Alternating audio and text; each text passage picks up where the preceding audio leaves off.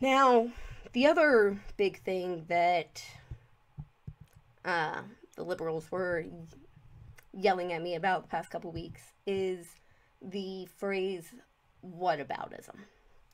And I don't know if you're familiar with a whataboutism, but it's when somebody brings up a point or a criticism and then you reflect or come back with, well, what about this? I'll give now generally it's then the liberals that, that will scream that's a whataboutism that's irrelevant i don't have to answer that you can't answer the question without just bringing up other stuff about other people. Now personally i disagree. I'm not saying that a whataboutism doesn't exist but i often feel like liberals use that as some sort of deflection to not have to address their own hypocrisy.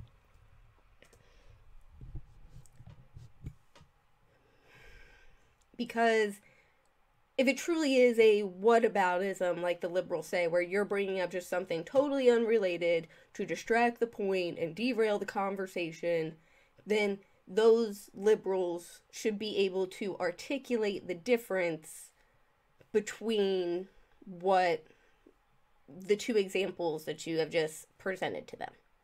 And oftentimes they can't, which I think is the point of the person who brings up the whataboutism, that is generally the point that they are trying to get across.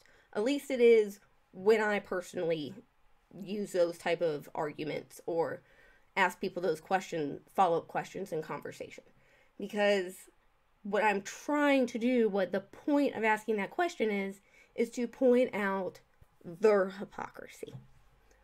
For example, the one the example that I used talking to somebody earlier in the week was if one of the things that I often heard about why Donald Trump was such a terrible person is because kids in cages. There were kid he was putting kids in cages. So when you say, well, what about the fact that Barack Obama also put kids in cages and was actually in fact the person who built the cages to begin with? Then they'll be like, that's a whataboutism. We're not talking about Obama. We're talking about Trump. Like, and then they'll be like, "You're but uh, what aboutism? That's bringing up two unrelated things." Like, that's not unrelated things. Those are two very related things. And all I'm asking with that question is, why is one person who does it literally Hitler, the worst person on earth? Is you are uh, beyond moral um, redemption if you like this person for this reason of kids in cages, even though the person that you were offering up as an acceptable alternative did the exact same thing. So, why is it a moral crime for one and not for the other? Now, they'll try to tell you that when you're doing a whataboutism, it's unrelated.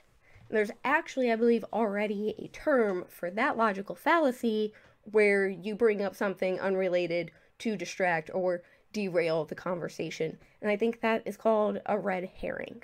So we don't, that's when they try to say a whataboutism is bringing up something unrelated, then no, that's a red herring. What a whataboutism, if used correctly, is bringing up a very related topic to ask to point out that that person who is accusing you of being a bad person for agreeing with so and so or doing whatever you're pointing out that that person is actually being a hypocrite and not holding themselves up to their same standards. So, I find the um, deflection of the whataboutism very annoying, but I was told somebody that I was full of shit and I obviously didn't know what it meant and figured explaining it to that person would be a lost cause. But I did want to get that off my chest and clarify what I see the difference between those being.